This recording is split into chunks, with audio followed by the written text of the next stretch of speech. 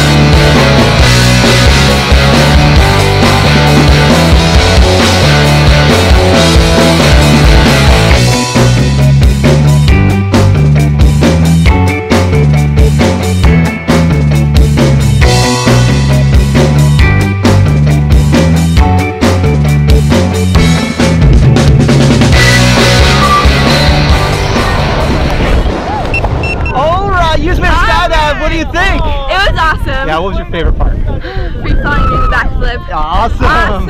It was Big awesome. Big yeah. thumbs up. Say blue skies. Blue skies. Skydive Taft. We'll see ya.